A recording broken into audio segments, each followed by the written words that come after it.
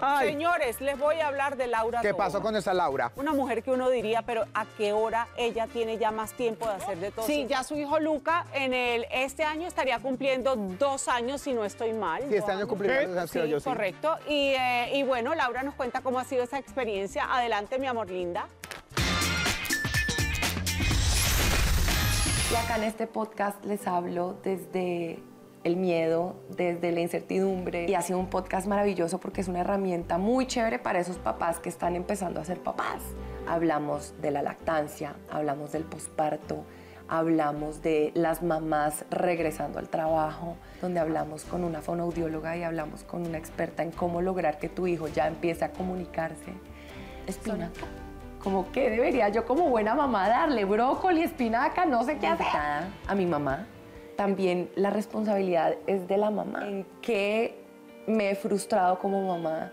¿En qué no lo he hecho bien como mamá? ¿Qué quisiera mejorar como mamá?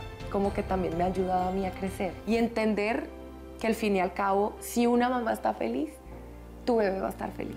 Continuamos, señores, qué dicha. Oigan, ya es Navidad, ya se siente uno. Bueno, nosotros acá lo único que hacemos es mamá gallo, pero ya siente uno como Pero, más ganas pero, como de pero la nosotros fiesta. mamamos ¿eh? gallo de, de diciembre a diciembre. Eh, tienes, tienes toda la razón. Oiga, pero Porque divino. la vida, la vida hay que, hay, hay que tomarse La muela, dices Niño, es. pero venga, muy lindo esto de Laura Tobón y lo que dijo de haber pedido perdón a la mamá. Eso pasa. Eso me parece bastante conmovedor claro, además. porque es que ya sabe, ya entiende como Claro. mamá Es que yo les voy lo a que las decir mamás una cosa. reclaman y uno Claro. reclama con rabia y soberbia. Uno, cuando es pelado, uno ve a la mamá con resentimiento Sí. porque toda la autoridad lo único que a uno le genera es rechazo. Ajá. A esta edad uno ve a la mamá con compasión. Sí. Yo veo a mi mamá, oye, mi mamá mi mejor amiga y antes yo decía, mejor, o sea, yo a mí tampoco me va a alcanzar la vida para que mi mamá me perdone todo lo que yo le hice en vida. Y, pero siquiera, Mari, estás haciendo un acto de contrición porque ya llegó Navidad.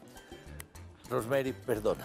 Perdona. Mire, Mari, Ella no tuvo la culpa. el mundo ¿no? estaba, Oigan. estaba tan en tu contra que iba a haber Niños. un tsunami en Pero es cierto lo que acabo de decir, ¿cierto. Vargas? Sí, Es- sí, es- sí. eh, así es.